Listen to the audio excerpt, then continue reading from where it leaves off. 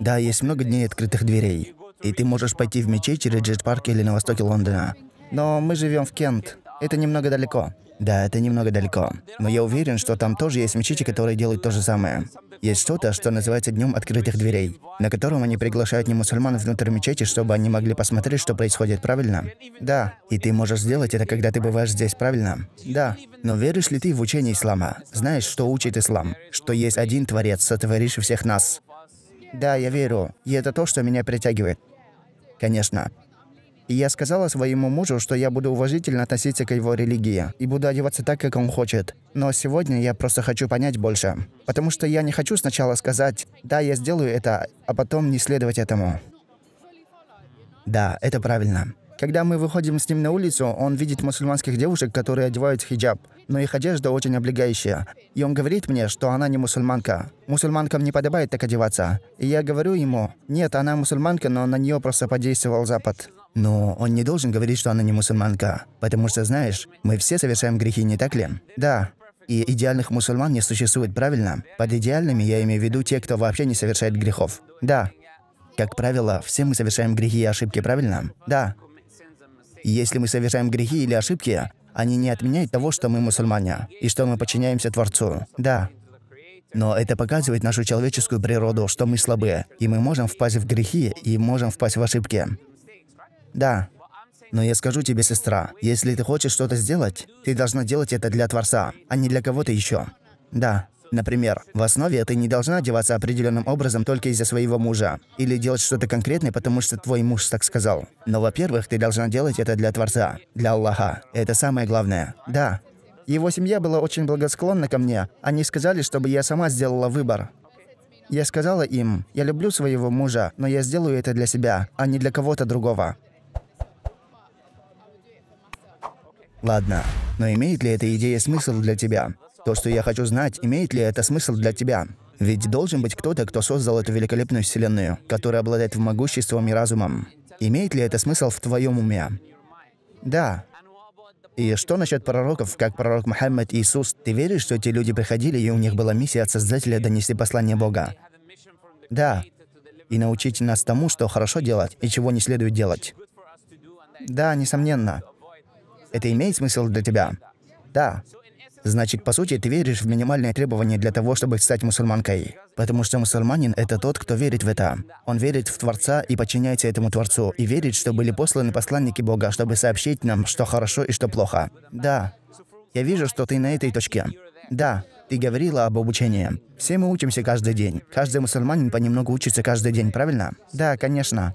Так что не зацикливайся на том, что, знаешь, сначала я полностью изучу, а потом приму ислам. Потому что никто так не делает, правильно? Да, конечно. Мы не можем узнать всего. Все мы должны учиться. И ты должна делать все шаг за шагом, правильно? Поэтому если все это имеет смысл для тебя, что останавливает тебя сделать этот шаг для себя, а не для кого-то другого? Потому что смотри, сестра, мы живем здесь сегодня, а завтра нас не станет. Поэтому я хотел бы умереть, зная, что Творец доволен мной, убедившись, что если я умру, поверив в Него, я выйду в рай. Если я узнаю, что что-то останавливает меня от рая, и в любой день я могу умереть, я никогда не буду откладывать это дело. Потому что я знаю, если я продремлю, я могу умереть сегодня, и никто мне больше не поможет. Знаешь, судный день. Моя жена мне не поможет. Ни мой отец, ни моя мать, ни мои дети. Все они будут думать о себе.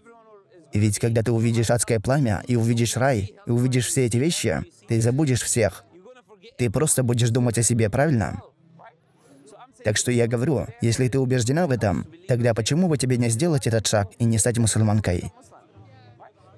Потому что, знаешь, сестра, когда ты становишься мусульманкой, предыдущие грехи и ошибки, которые ты сделала, стираются. Да. Поэтому если ты начнешь учиться и попытаешься сделать все возможное, Аллах прощает прошлые грехи, которые ты сделала. Да. И все хорошее, что ты сделала, оно останется с тобой. Поэтому Аллах не забирает хорошие вещи, которые ты сделала, даже если ты не мусульманка. Правильно? Да. Так что, по сути, я вижу, что ты убеждена, но я хочу, чтобы это исходило от тебя. Да. Поэтому я спрашиваю тебя, рационально, что мешает тебе сделать этот шаг? Ничего. Мы говорим, что это дьявол. Да. Ведь только он не хочет этого, и никто другой, правильно? Да. Я вижу, что ты убеждена. И, машалла, твой муж мусульманин. И он может научить тебя и может помочь тебе. И я вижу, что он ничего не навязывает тебе. Нет-нет, он позволяет тебе делать свой выбор. Да. и ты веришь, что это имеет смысл, тогда ты должна стать мусульманкой. А потом просто шаг за шагом будешь изучать вещи. И не беспокойся слишком сильно обо всех этих исламских учениях. Они придут со временем. Конечно, чем больше ты будешь приближаться к Аллаху, тем больше ты станешь понимать причины и мудрость этих учений, и ты захочешь сделать больше. Да, так что никто не говорит тебе, что если завтра ты станешь мусульманкой, ты должна измениться на 180 градусов. Этого нет, правильно? Да. Так что если ты убеждена, стань мусульманкой прямо сейчас. Знаешь, очень легко стать мусульманином. Ты лишь должна засвидетельствовать то, во что ты сказала, что ты веришь. Да, ты свидетельствуешь, что есть один Творец, и свидетельствуешь, что пророк Мухаммад – это его посланник. Да, и это то, во что ты уже веришь, правильно? Да. Как только ты засвидетельствуешь, это очень просто. Ты становишься мусульманкой, вот и все. Нет крещения. Нет-нет. Не нужно обливать тебя водой или что-то такое. Нет. Так что это всего лишь два утверждения, которые ты сделаешь. Так что ты думаешь? Ты готова? Ты хочешь сделать это?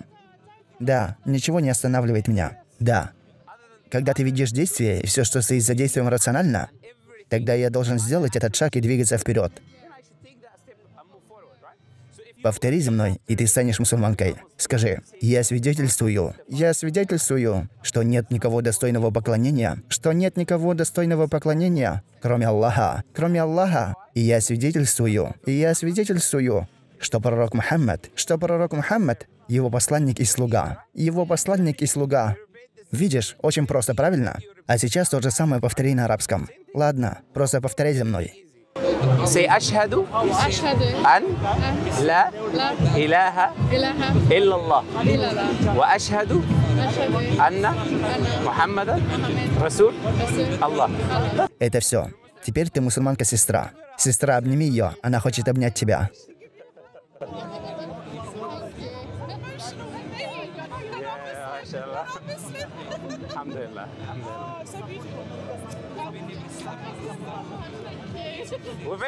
Мы очень рады за тебя, сестра, потому что мы видим это как то, что ты спасла свою душу от ада. И ты так его Создатель наставил на прямой путь. Так что это очень важно для нас, мусульман, верно? Мы счастливы. Потому что, когда ты видишь, что что-то хорошее случается с кем-то, кого ты знаешь, ты счастлив. Так что это делает нас счастливыми, как мусульман. Так что я рад, что ты сделала это. Да, я скажу тебе, сегодня ты пришла по какой-то причине. Да, в исламе мы не верим в случайности. Мы верим, что того пожелал Создатель. Да, он помог тебе прийти сюда сегодня и послушать. Тысячи людей ходят здесь, но они игнорируют истину. Но ты попыталась быть честной с собой и принять истину. Да, знаешь, это Аллах послал эту сестру к тебе, чтобы она привела тебя сюда. Да, так что все это создано Создателем. Это не то, что мы предопределяем. Это то, что предопределяет Создатель, правильно? Так что, как я сказал, на данный момент ты стала мусульманкой. Ты наша сестра. Ты одна из нас. И делай все шаг за шагом. Не думай, что кто-то торопит тебя. Да. Потому что иногда люди теряются из-за давления. Они видят много вещей, и затем они путаются. Но делай все шаг за шагом. И пусть у тебя будет один учитель, только один человек. Пусть он научит тебя, что делать шаг за шагом. И я возьму твои контактные данные и свяжу с организацией, которую я знаю. Они научат тебя, как молиться и что делать и все остальное. Ладно.